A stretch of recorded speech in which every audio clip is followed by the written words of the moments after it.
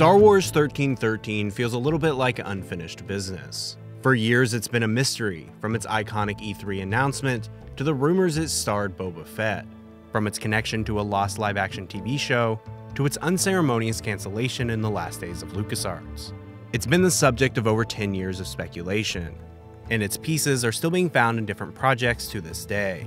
This is Star Wars 1313, the last LucasArts game.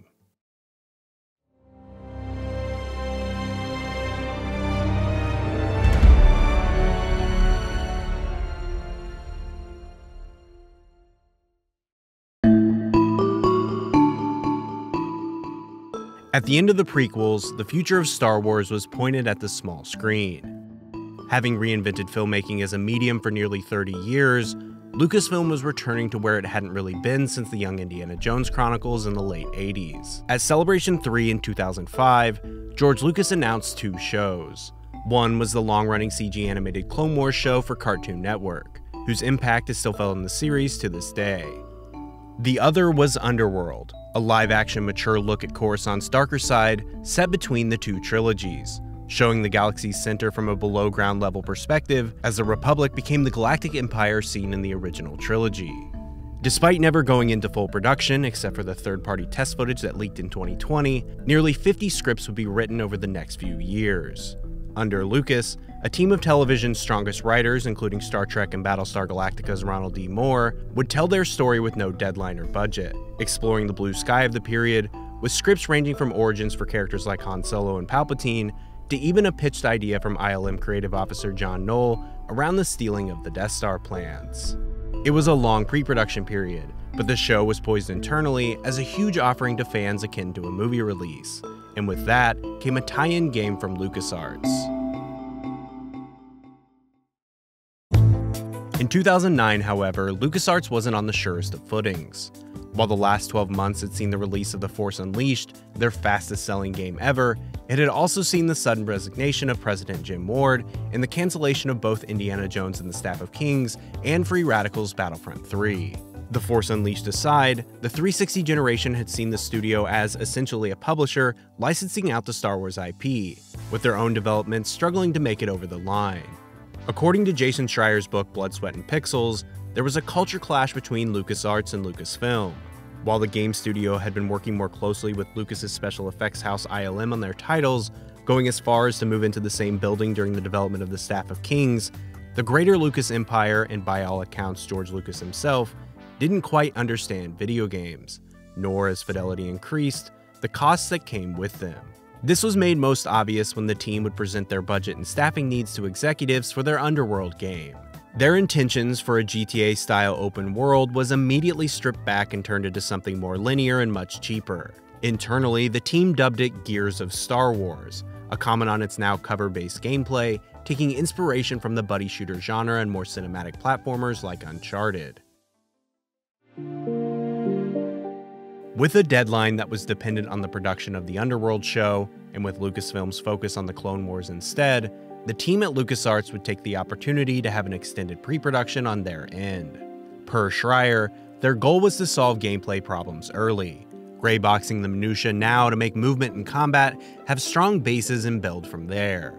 The project had started taking on a life of its own, while work on the show was getting quieter and quieter and as a result, it'd be renamed to Star Wars 1313 after the 1313th level of Coruscant, where the bulk of the game took place. It was around this time, however, that LucasArts would lose another president in Darrell Rodriguez. Following that, a few months later, during the already arduous development of the Second Force Unleashed, longtime LucasArts executive producer Hayden Blackman would also depart the company. The LucasArts team had been split between the two projects with 1313 being worked on for well over a year at that point, and targeting release date on then unannounced next gen hardware, and The Force Unleashed 2 targeting release by the end of 2010. While it's unclear how much involvement Blackman had on 1313, he had long been a guiding voice to the Star Wars projects of that era, and losing him and the head of the company so close to The Force Unleashed 2's release was a hard blow to the studio. It's partially speculation on my part, but to me, this is where the real problems with 1313 and LucasArts as a whole became terminal. With Rodriguez's departure, a Lucasfilm executive would fill in temporarily before the hiring of Paul Meegan in June, Under Meegan, only three months later, and less than eight weeks before the release of The Force Unleashed 2, LucasArts would lay off one third of their staff, about 80 people in total. With the executives being directly involved, new leadership at the top of the company, and the recent departure of key creatives, there was less insulation between LucasArts and Lucasfilm than there had ever been. And with that came more oversight from Big George. 1313 did not start life as a Boba Fett game. While rumors swirled around its announcement and cancellation that the main character seen in demos, portrayed by future Bullseye actor Wilson Bethel, wouldn't be the main character come release, and over the years concept art would circulate featuring Boba Fett, 1313 was at this point in development, intending to star an original character. With that increased oversight and input from Lucas came more meetings. And two months before planned reveal at E3 2012, the word from George would be simple 1313 should be a Boba Fett game. Very few characters short of a Force user would be a more dramatic gameplay shift. As while Bethel's character Rack Jarrett was a bounty hunter, what he didn't have at any point was the Fett family jetpack, something that could and should change how the team would approach combat. This was non negotiable even this far in development, and the team was forced to rework almost everything, trying to salvage what they could, throwing out a large portion of their progress from pre production and turning their story of an original bounty hunter into another origin story for the younger Fett. This is likely why leaked footage seen in 2022 doesn't actually feature the jetpack at all. Being an origin story, developers wanted certain iconic pieces to fall into place as he turned into the character seen in the original trilogy. His armor was much closer to Jango's. Being a linear game, there was an opportunity to reuse at least some of what was created before Boba got his jetpack, something that's mirrored in 2002's Bounty Hunter starring the Elder Fett. It's worth pointing out that a few months before E3 in 2012 lines up with the release of the Clone Wars episode Bounty, a late look at a young Boba Fett and a team of bounty hunters working alongside Ventress.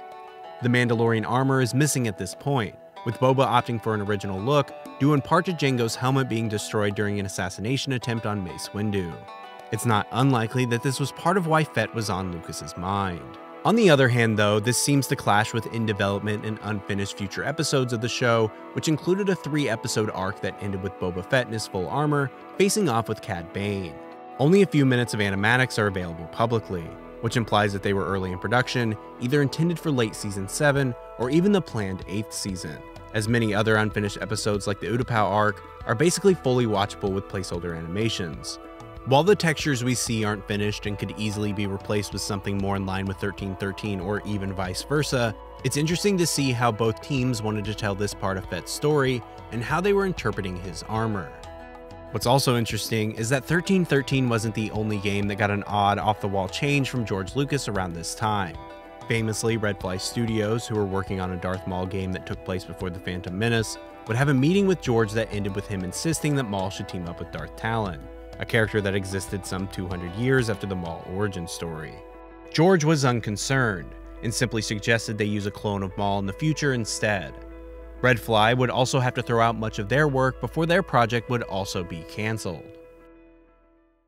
Regardless, E3 2012 would mark the first time the public would see Star Wars 1313. What we got was a look at cinematics and actual gameplay, with that Gears of War slash Uncharted approach as Bethel's smuggler jumped from crumbling ships and had tense shootouts with unnamed bounty hunters.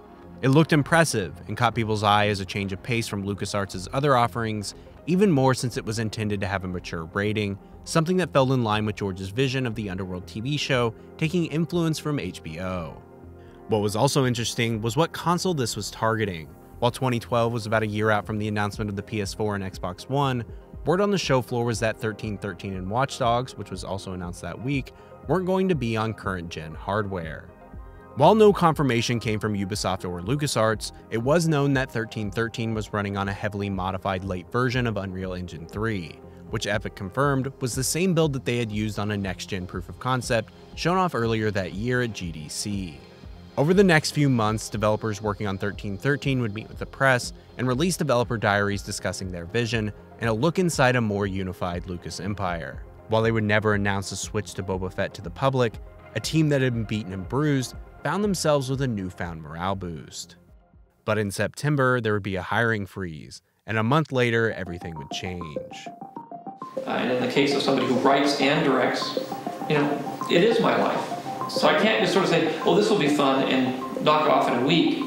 I have to, this is like a marriage. This goes on, you have to be in love with this thing for at least four or five years and probably for the rest of your life. It's hard to talk about the end of 1313 without talking about the end of an independent Lucasfilm. In 2012, George Lucas was 69 years old, slowly beginning pre production on a new era of Star Wars films and staring down becoming a father again.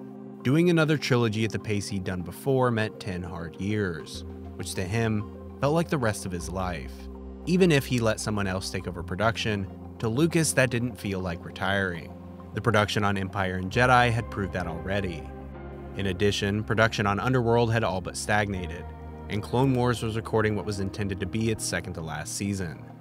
There was no better time than now.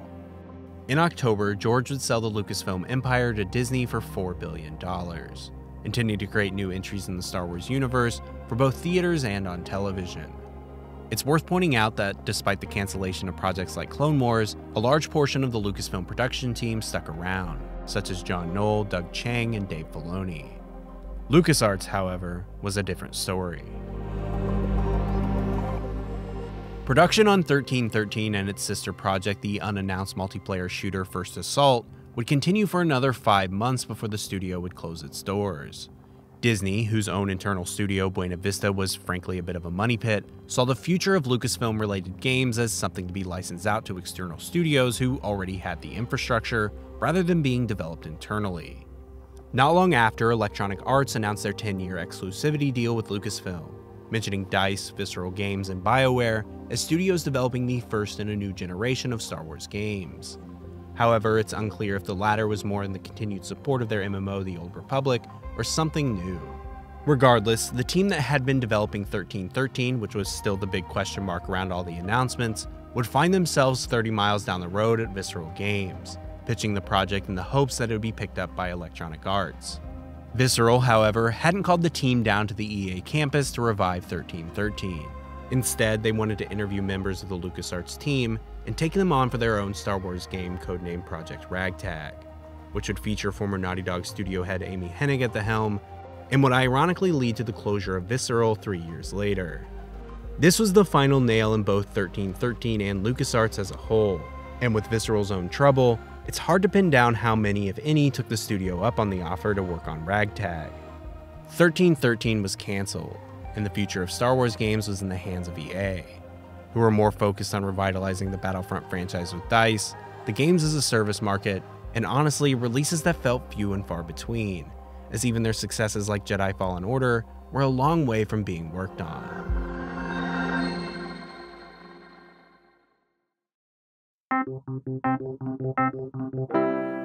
Unlike a lot of canceled games, Star Wars 1313 wasn't the product of massive fan projects, huge leaked builds, and the entire team coming together to create something new. To be honest, the way Star Wars has largely shifted to television in the past few years, it's a lot easier to point to Underworld's legacy instead. The way shows like Andor focus heavily on the day to day life of Coruscant and the inner workings of the Empire, to the return of the diet cyberpunk aesthetic in It and Kenobi, and more broadly, almost every Disney Plus show featuring some connection to the complicated web of crime syndicates in the universe, it's hard to not feel that Underworld influence.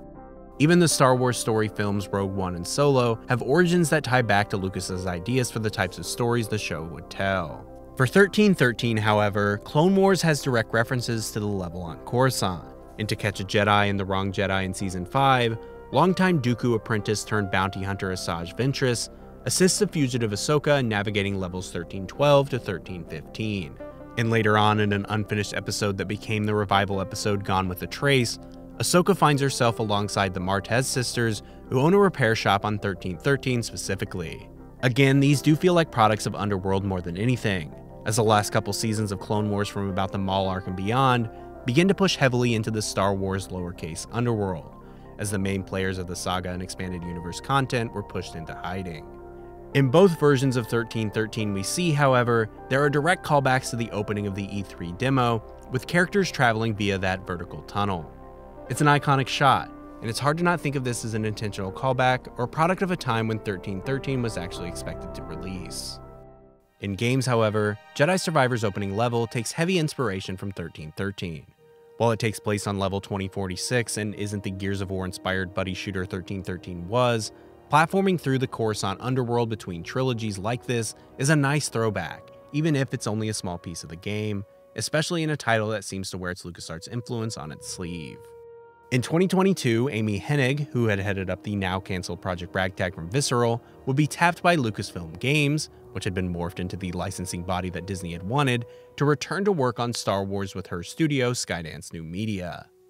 The following year in June, former 1313 director Dominic Robilliard would also announce that he was now working on the project. While no word is available at time of writing, it's interesting to see two former directors of two famously canceled Star Wars projects from two different eras working together in a post EA exclusivity Star Wars market.